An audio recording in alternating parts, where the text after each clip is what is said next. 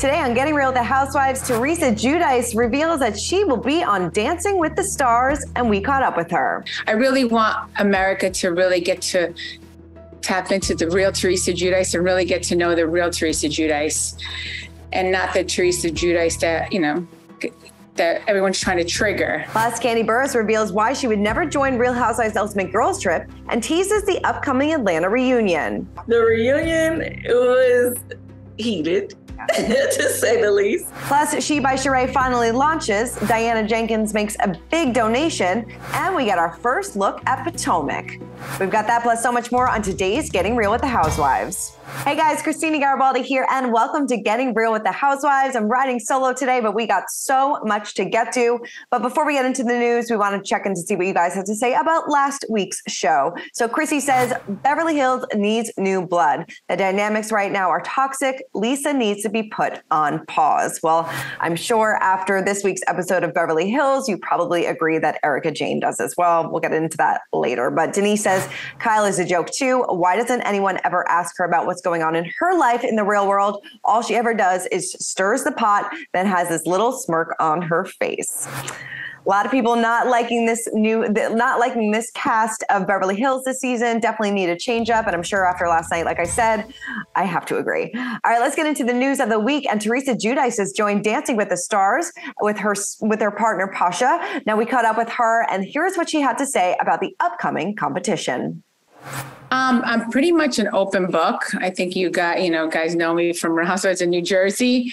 I lit- literally put it all out there. So yeah, I mean, I'm not, you know, I want to, you know, hopefully I gain, you know, like a huger fan base, and I really want America to really get to tap into the real Teresa Giudice and really get to know the real Teresa Giudice, and not the Teresa Giudice that you know that everyone's trying to trigger. And, you know, because I do have that Italian temper, but um, I've been working on myself.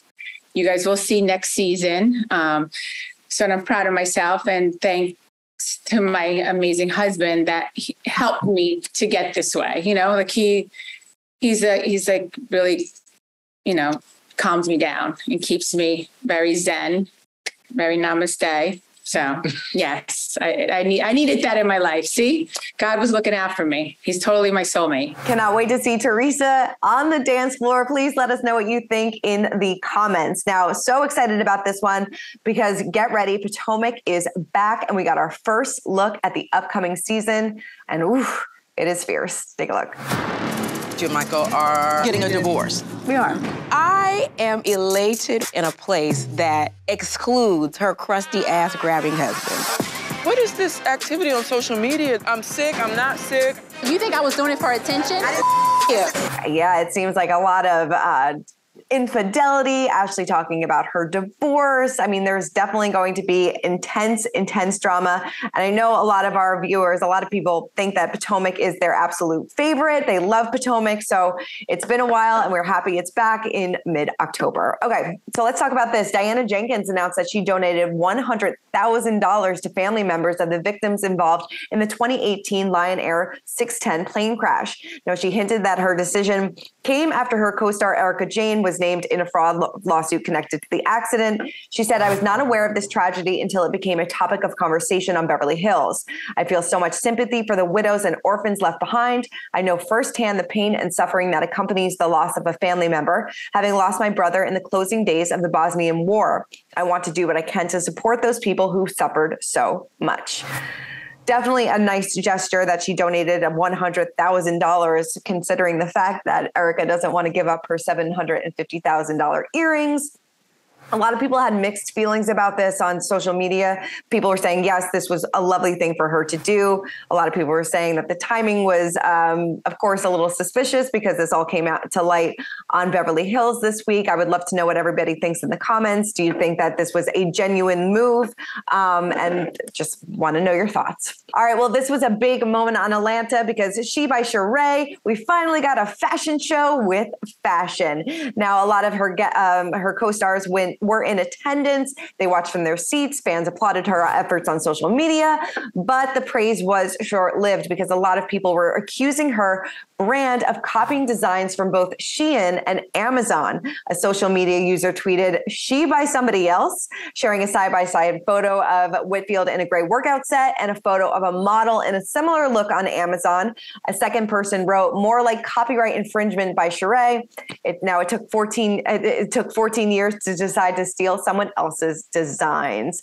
Yikes. Now uh, Sheree has yet to comment on this, but obviously this has been 14 years in the making a lot of back and forth and there was a lot of drama even leading up to this episode because the designs still weren't in place it was kind of a last minute thing but it got off the ground so i don't know a lot of people a lot of people noticed that this was uh, maybe taking some inspiration from other places, but we'll have to wait and see what she see what she has to say. So this was interesting. Garcelle was spotted filming with Lisa Vanderpump, but it may be about her son. So Oliver Sanders, the eldest son of Garcelle, has been accused of infidelity after nearly two years of marriage. Now, his estranged wife Samantha Sanders, who he wed uh, in May of 2020, alleged that Oliver cheated on her with multiple women throughout their marriage, and she shared she shared some receipts.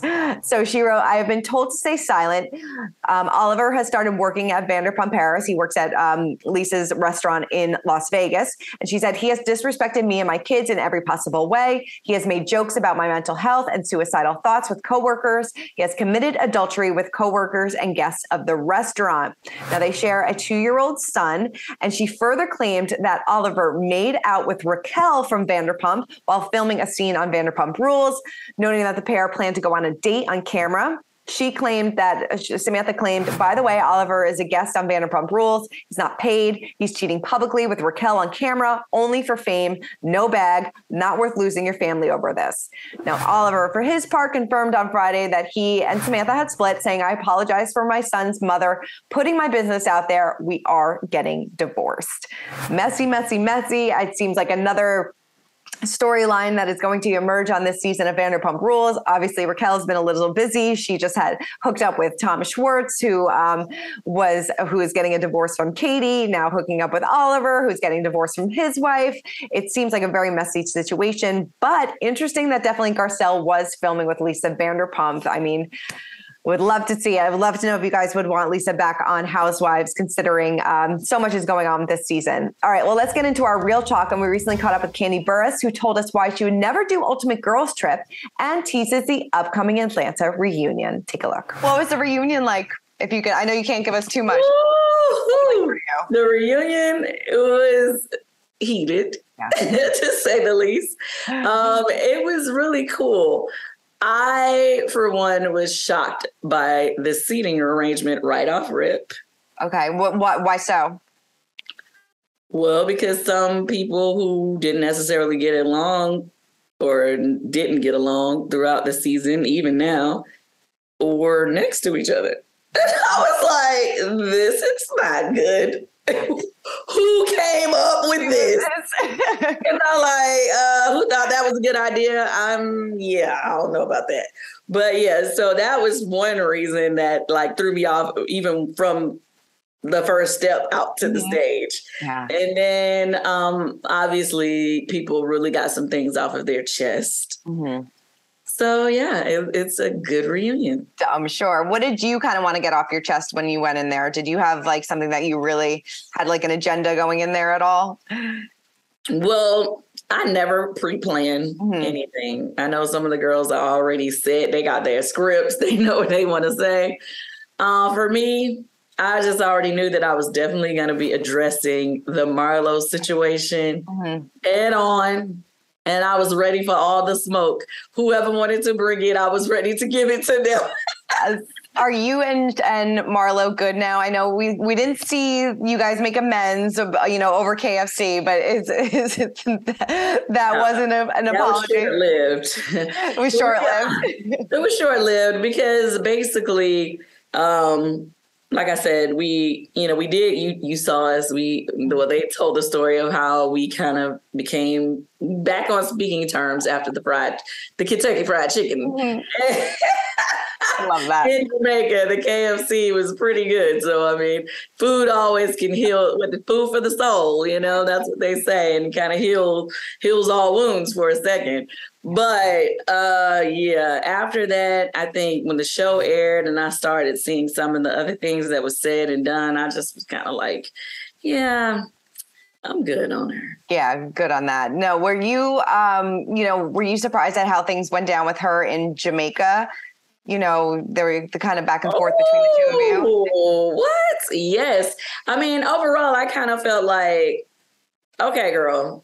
Um, she tried it. That's how I felt. And then we were going back and forth, and the argument really went out of hand. Um, you know, I the thing I didn't expect was like how low she went towards Todd and the disrespect that she was throwing his way because I'm like, now, any other time, if we're out and about, she wants to hang out. Like Todd is her boy, that's her homie. And then it's like you go straight for him.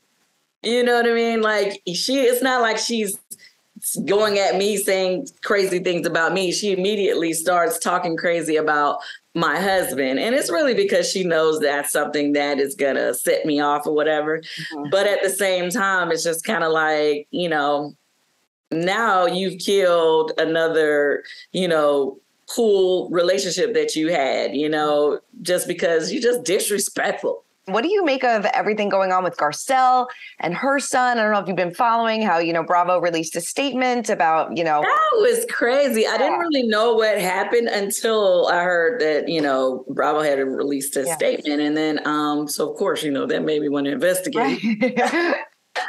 But no, um, one of our fan pages had also posted some information where a gentleman basically was saying that he was paid to send bots to her page, and I just thought that was horrible. So I did reach out to Garcelle, and um, I was just um, basically letting her know, like, I don't know if you saw this information, but you should know what's going on um, because it's just people go too far on this show. It's- I mean, it's happened on our show as well. Like people go too far, and I'm like, you have to understand, guys. Like it is not that deep. right. It's not that deep. Like I know we argue back and forth. You know, we have our dramas or whatever, but sometimes like these ladies really just go too far. Having that happen and people start attacking the social media pages for our at, at one of our children is that's that's terrible. I'm I'm just glad that Garcelle is a lady. She's Yes. such a lady, you know what I mean? Because me, I am not.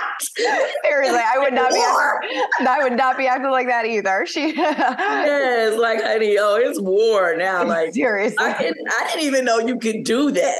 Like I didn't even know that you could pay a company to send bots to somebody's page. I'm like, this is new. And you guys are really going all out for your drama, okay? Seriously. Was Garcelle okay though? She was she's, you know, like you said, she's She was definitely um shocked, appalled, and just, you know, just just disappointed and basically saying the same thing that I'm saying is that it's never that serious. Yeah. Like it's not that deep. Why would someone do, you know, I, I mean, from from her point, you know, like why would somebody do that to her, you know, for the sake of, you know, this drama that we have on this TV show, basically. Right. It's like, girl, bye. So excited about this reunion. It was a great season. A lot of people had mixed reactions to the season because I felt like it took a little while for Atlanta to kind of for this group to gel, but I definitely feel like they had, like we said before, it ended with a bang with She by Sheree. We got Tyrone in the mix and she went off, or I'm sorry,